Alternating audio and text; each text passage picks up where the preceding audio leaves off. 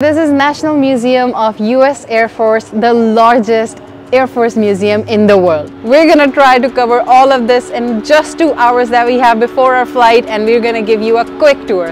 So let's start.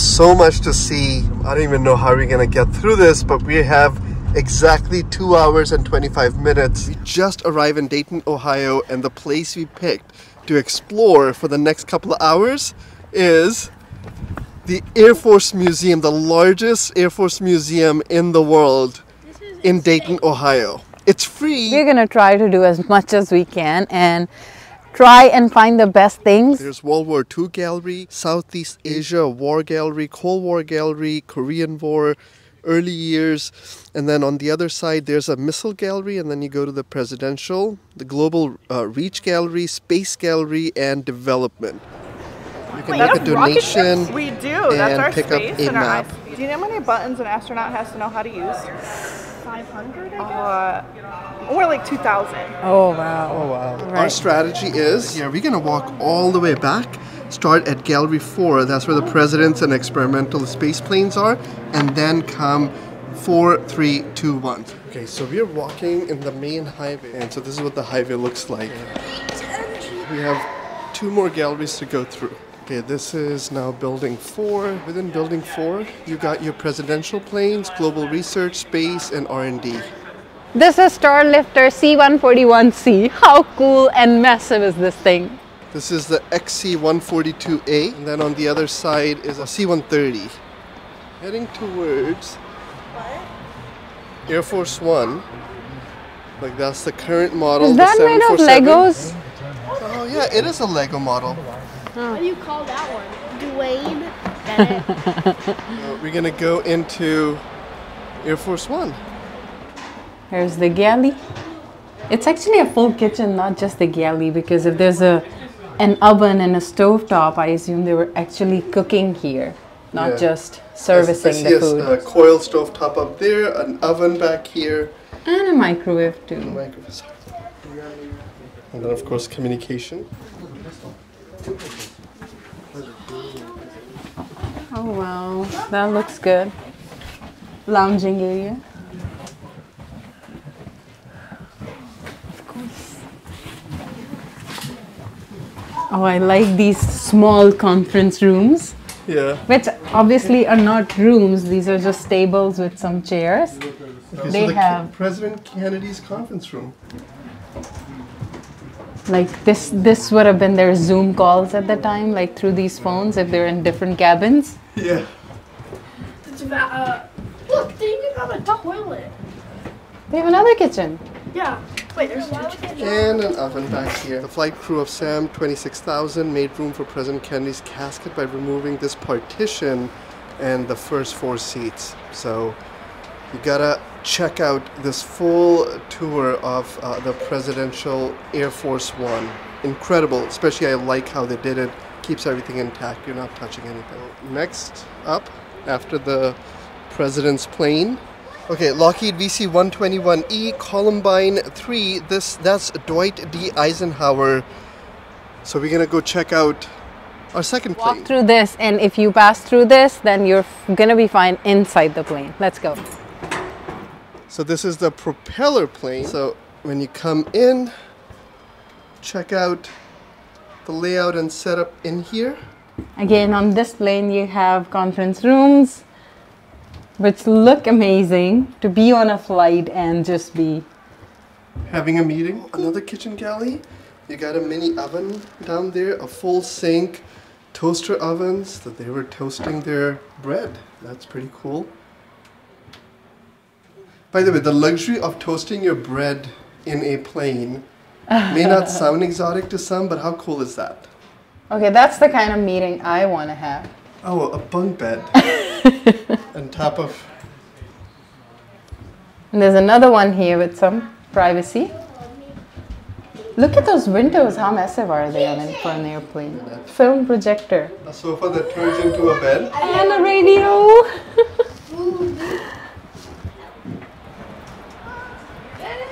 And look, check out the bathroom. Of course, beside the Air Force One, you can also check out Aero Commander uh, U-4B.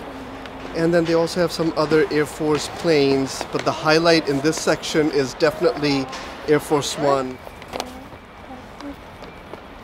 And this is the last one, a Gulfstream Aerospace, a C-20B. Okay. Okay, this is the Sacred Cow, uh, Franklin D. Roosevelt, a VC-54C. So this entrance picture in the plane is gonna be a first because I have to bend down. Okay, so this is the view from the top. You can see Air Force One in our colors, but we're gonna go into Franklin Roosevelt's plane. I'm gonna bend down. yes. Oh wow. Look at that. Right Yeah. at the entrance you have the galley with a full-size fridge, a sink, toaster oven, and all their containers for their food. You got bunk beds on the other side. This is how narrow my camera barely fits Whew. this width. This is actually pretty claustrophobic. You can see their meeting area. You can imagine the President of the United States sitting here making decisions. Oh, I love these windows. Look at the shape and the size of them. Yes. Oh, did you see the president's seal? No? Oh, that's very cool. What is that? Okay, we gotta find out the name of this plane. That is a beast in itself. But we'll give you a sneak peek of the inside. Look how big this is.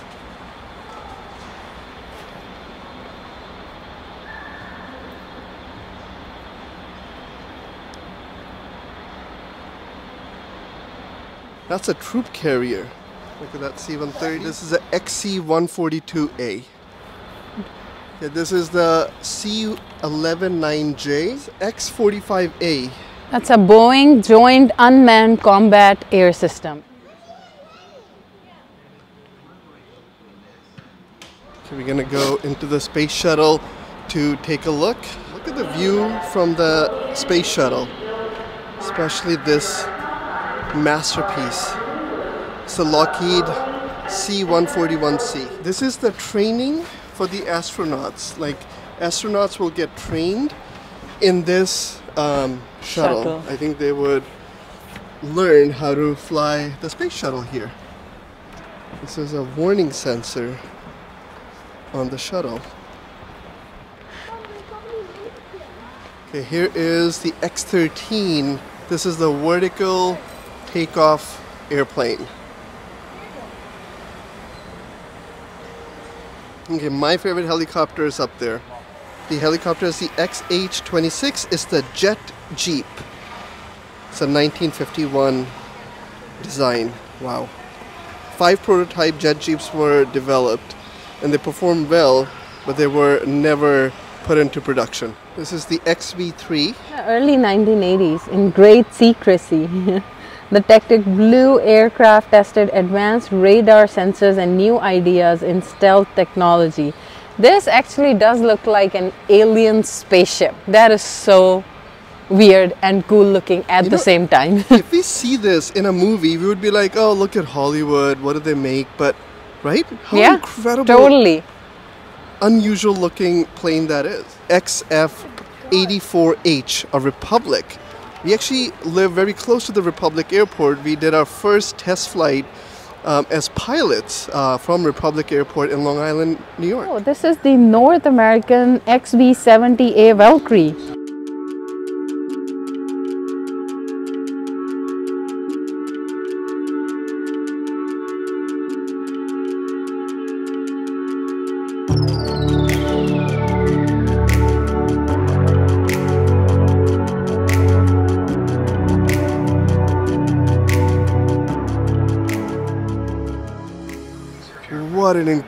Incredible I started walking the length of it and it took so long.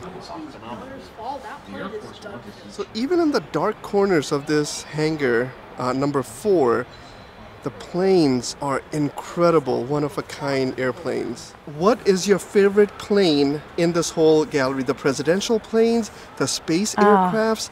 Mine is the Valkyrie right above you. I actually, I think I would have to agree with you. As much as I love the commercial airplanes and I enjoyed the presidential airplane, this one is so unique and so impressive. Of course, as we're heading out, I even missed US Air Force 935. That's here parked right under the Valkyrie. All right, Alia, what did you find? Oh, this is the Apollo 15, which was the fourth successful moon landing mission, and it was the only with all US Air Force crew. 1971, crew of three, and it Just a- landed in Pacific Ocean near Hawaii. How do the people survive in it? In Hawaii, they have trackers probably. Oh, people survive because this is meant to bring you back. Okay, so from gallery number four, we're gonna say goodbye. We're gonna head over to, I think where the missiles are. From gallery number four, we're heading up. You know, Alia, this is reminding me of the Arctic ship tour we did in Oslo, Norway. The view from the top, they have tons of galleries and pictures everywhere. We went up so we can look at the the ex- uh, expedition ships. And again, we had limited time because we had to catch the flight the same day.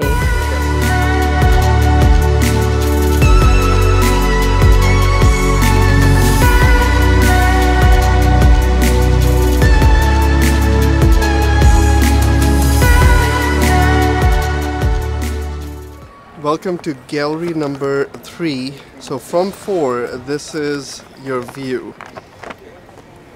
And this is the Cold War Gallery. Oh, I see a spy plane up there. So Oh, we just saw the this wheel. We had to come and take a picture. This is XB36 landing gear. Okay, this is 10, 12, 12 feet high. Jeez. We're just in a maze of uh, jet engines, propellers, but I've never seen a cockpit that opens three different places. So I can't wait to read what this aircraft is. All right, a Convair B-58A Hustler, a nuclear deterrence. Oh yeah, that's a deterrence. Bomber KC-97L Stratosphere or Str- Stratosphere Freighter. Freighter. Uh, I'm gonna get butchered up in the comments for naming these planes, but we're running and trying to read a little bit about the history of these aircrafts in a short amount of time, just panning through. You guys can see how much history is here, both from an aviation perspective and from a uh, U.S. Air Force uh, history perspective. It's a Boeing WB-50D Super Fortress.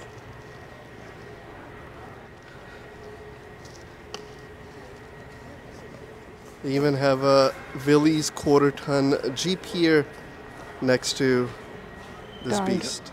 Now we are walking towards developing the bomb. This is the view from the back, from the right hand side, if you're coming from the front of the gallery. A bunch of very cool Cold War era planes. When you're coming here, don't forget to look up. You can also find descriptions of the planes hanging from the ceiling all around. You just gotta look. This cool little plane is a F 94C Starfire. Again, it's from the Cold War era, and you can actually see on one side all the rockets. Dennis the Menace. By the way, did you notice that? Is that a rocket with its own propeller and a wing? What is it? It's a radio. plane. It's a radio plane. Now that's cool. It was built in 1945. Built in 1945. That At about 200 miles per hour. 200 miles per hour is? Wow. The old one that's small, it's very fast. Now we are looking at a Convair B36J Peacemaker, which is a massive, massive plane. Alia, is this the largest plane in this gallery? Yeah, that's what the lady at the front told us that this is the uh, biggest plane that they have in their whole collection Even in the museum. bigger than the Valkyrie. I think so, yes. That's what she told us. So this is where we are in gallery number three, and in comparison to Valkyrie in gallery number four, this is the size comparison. So the largest plane in this whole museum is Right this, here. Which is again a Convair B36J Peacemaker. What confuses me is even though this is the biggest plane, uh, another plane I saw somewhere over there was only 360,000 pounds. Yeah. Well, this one's only 410,000 pounds and when it's also loaded. Oh wow! So it's pretty light. So yeah, it's pretty light for a size of plane it is. The B36J cruised at 230 miles per hour, but for additional burst of speed, its four General Electric J47s increased the maximum speed to 430 miles, 35 miles per hour. So the two at the end are the four General Electric engines. So those are engines as well? I think so. Okay, so the largest plane again, Gallery Three. After that, we're gonna turn our attention to this.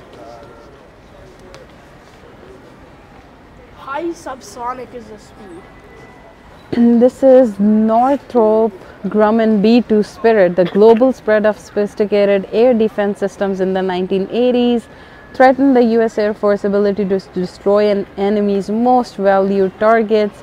To overcome this threat, the USAF incorporated revolutionary low observable or stealth technology into a long range bomber capable of delivering large payloads of conventional or nuclear weapons. And look how clean the body is underneath this plane. Like there's no bumps or things sticking out. Yeah, this is basically just a weapon carrier. And you can see, look at this picture to give a f- full idea of the unique shape that B2 stealth bomber has. Yeah. fastest plane in the world. I will say the staff here is awesome. There's a gentleman with the suit on. He took our pictures.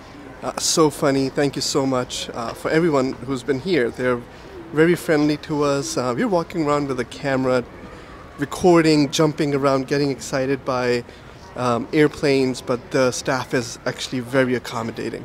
So after that bomber, we are looking at a AGM 69A SRAM. I was going to pronounce it SRAM, but it's just another massive plane. Uh, it's incredible. You know, you think of fighter jets, and these things don't come in mind, or you think of bombers, and even though you have seen pictures, but seeing them here live, they're just incredible how huge they are. And on this side of the gallery, you got a few um, helicopters and the A-10 Thunderbolt. We have seen, um, Alia, do you remember we saw a A-10 Thunderbolt in uh, South Carolina? There was a aviation park where we did a picnic. North Carolina? South Carolina. Oh, yeah, you're right.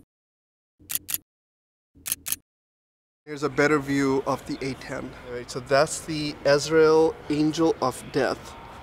Uh, you can see uh, the machine guns on the side of this plane here, and then also in the back of these.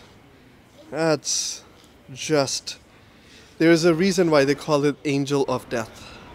Tornado GR1, Nighthawk. and of course, my favorite is the F111F. Just mean looking jet. and now this is the F 117A Nighthawk, another spy plane. I'm gonna call it futuristic, alien looking ship. This is a MiG 29. It's a Russian plane. I think the only Russian plane in this whole gallery. You can see the Russian flag on it. Or I should say Soviet Union flag.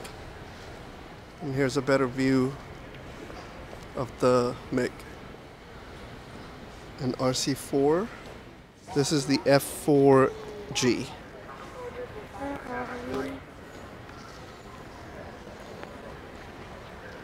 And so this is the SR71. It's an incredible. Why don't we go upstairs and take a quick peek at the SR71? No, it's in. Okay, here's a view from the top. You can see how massive this gallery is. And here is the SR-71. A very cool looking plane. Now you can see we actually walked all the way to the back, checked out all those fighter jets there, SR-71, uh, this monster which is RB-47B.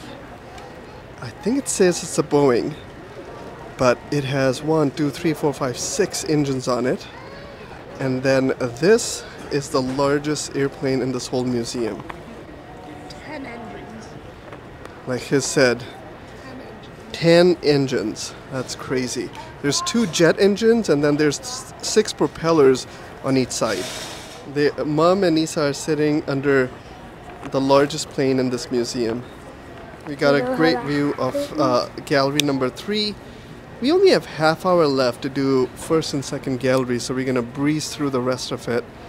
But what an incredible! I would say budget all eight hours, um, just so you have enough time to come here and have some snacks. And just remember, soda is not permitted in the museum galleries, only water. All right, kids, let's go look, check out gallery one and two. Okay, here's Alia. You know where we were?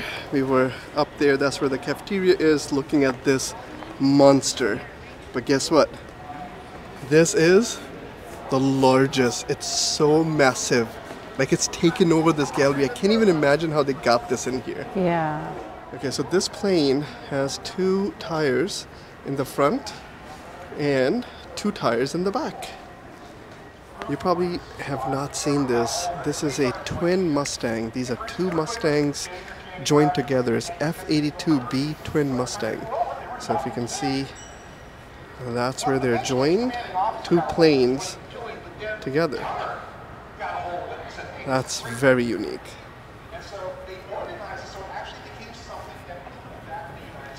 Okay, there's only four type of airplanes here. They have fighters, bombers, reconnaissance, and I forgot the fourth type. So if you know, please comment below. Carriers. Yes, maybe. Gallery number two, which covers Southeast Asia War and the Korean War. Vietnam, Laos, and Cambodia, 1961 to 1973. That's First, a B-52D. a B-52D. Again, you have an airplane that's literally taken the full width of uh, this hangar. Uh, they had to actually um, stand it sideways uh, just because how large this thing is. Alia, do you see the number of bombs on it? That's a lot. You say want a picture? Look at the tail on the top one. And Alia, did you see where the gunner would sit? Oh, And those are the four at guns. the bottom? Yeah, the glass on top. Oh. Yeah. Like so, the gunner's sitting behind that Oh. tail because the small aircrafts would attack the airplane and then he would shoot them down. What we were looking at was the B-52 Stratofortress in Southeast Asia. We're looking at the tail in the back. It's a beast. Okay, Alia and the kids are going to the simulator ride. So this is Douglas A1E Sky Raider. What did you see? Um, this plane, Sky Raider, pulls up after striking a target. But this picture is very cool. Like, It's ex- Yeah, yeah, it dropped a, a, a bomb. and then here is it crashed.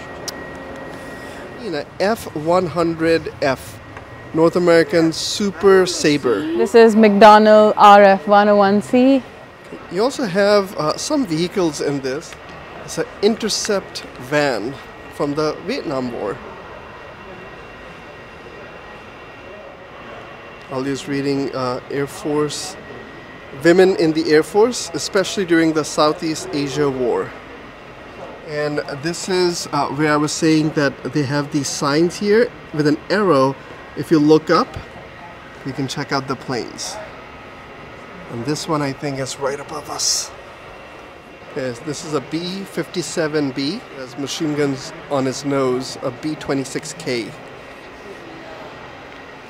Get a better view.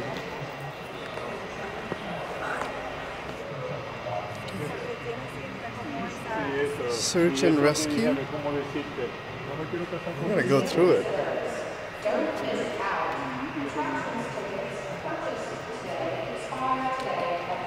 Okay, what do we have here? We have a number of helicopters. I mean, of, of course, that's the classic UH-1P. You see that helicopter up there, Alia? Oh. Have you ever oh, seen? have you ever seen such a thing? You no. see the smokestack pipe in the back? How big that is! This is the back area. Uh, there are definitely some cool airplanes like the C-7A with the puffy nose. And this is the C-123K provider. Okay, So this is a MiG-17F. It's a C used in Southeast Asia, uh, AQM-34L. I don't think I've ever seen this many airplanes in my life. Um, military aircraft, and we have been to aviation museums, military museums uh, around the United States. We continue to do that from time to time. We travel, we make hotel videos, cruise videos, we go to different cities like in Ecuador or Portugal. But then from time to time, in each city, we try to do something cultural, something historic for the kids to also learn and, um, you know, of course, uh, learn the history. Never been to an aircraft museum this massive. Of course, the largest uh, Air Force museum in the world. Look at this one, Alia. Whispering Death. It's a F-111. It was used in Southeast Asia.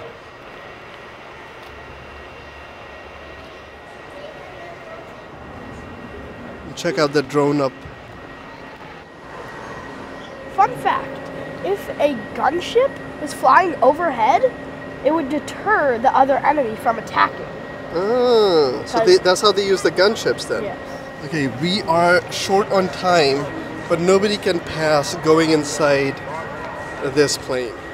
you? All right, so we're gonna walk into the C-124 Globemaster 2. So we're inside the Globemaster.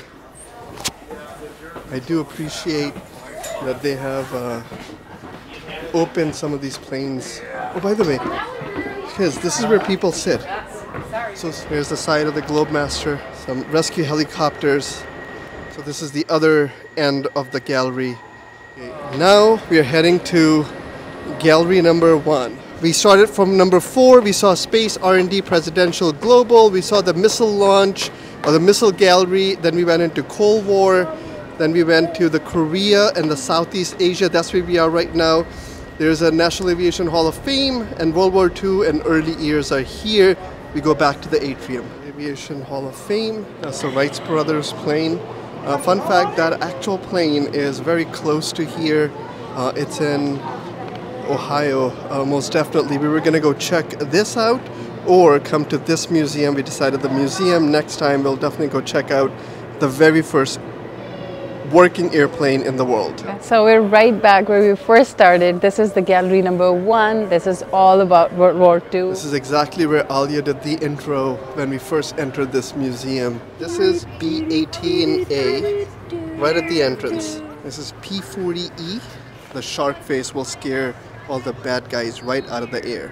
And this is AT-9 Fledgling Jeep. It's a Curtiss. This is an AT-11. B24D. This is a Piper L4A Grasshopper. So look at the Memphis Belle looking all shiny and beautiful. I was saying to Alia, I really appreciate it. I don't think I've seen this in other aviation museums that they have lifted the planes up on stilts, which really, really adds to the display.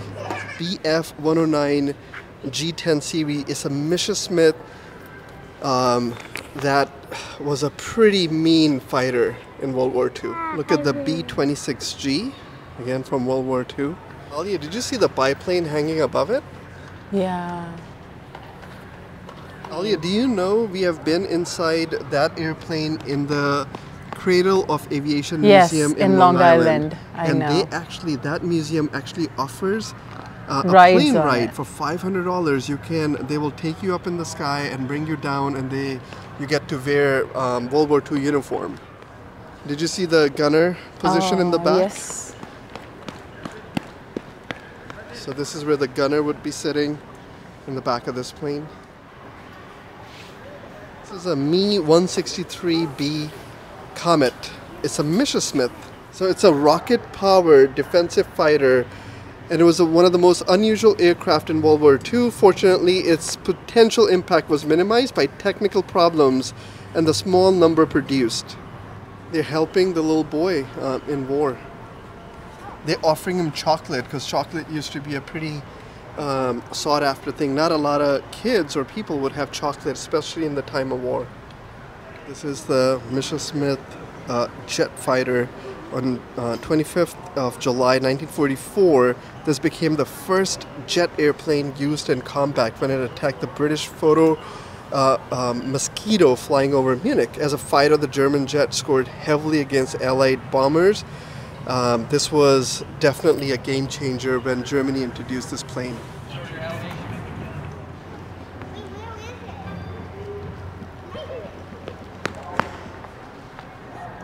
Okay, this is a P61C. This is a MXY7 trainer. Look at this Italian flying machine. Now this is the Wright military flyer. So here's a surprise. How can this thing fly? And yeah, this was the very first airplane that actually flew. Pigeons were used in World War II to help deliver messages. Homing oh. pigeons. Homing pigeon. So are you saying that that was the... pigeon, like a real pigeon. Oh, Did it have GPS on it? No, it's a regular pigeon. You can see the gallery, the very first gallery that starts the whole um, aviation, the history. Okay, we just came across something. Let's go find out what this is. What is it, Alia? It's a wind tunnel which was designed and built at Nisco Field in 1980. A wind tunnel. Yeah. So this is from 1918. Really liking this airplane. It's called a bug. You know what it looks like? It's a torpedo. That's a bug. And our time's up. And our time is up. Guess what? We have done this whole tour. I don't know how long this video is going to be, but we did this whole tour in 2 hours 15 minutes with a couple of breaks.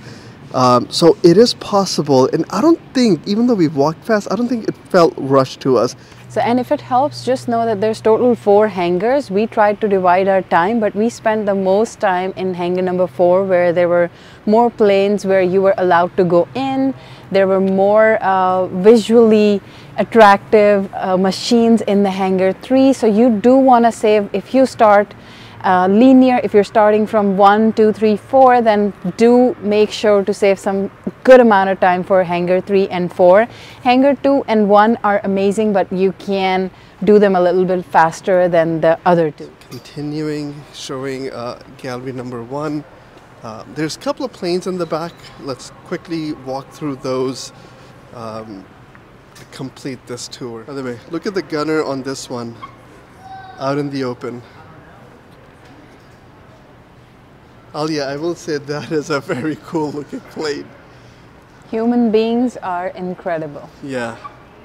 Uh, human beings are incredible at inventing.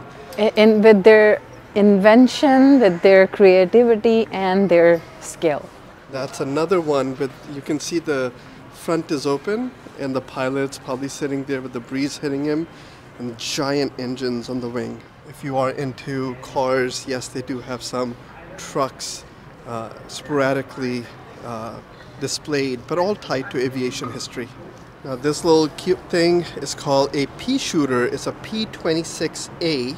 Again, on gallery number one, plane hanging from the ceiling, and I absolutely love the front gunner uh, dome on this airplane.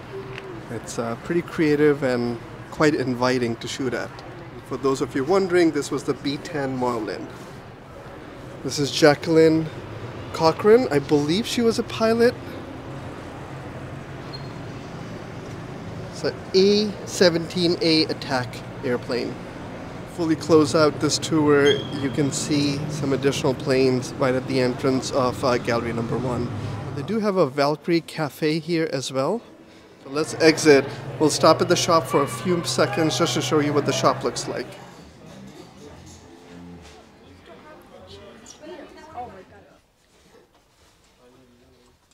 They even have bomber jackets. Carolina Reaper hand grenade hot sauces. Also have some drinks, places where you can sit. So this is the whole shop.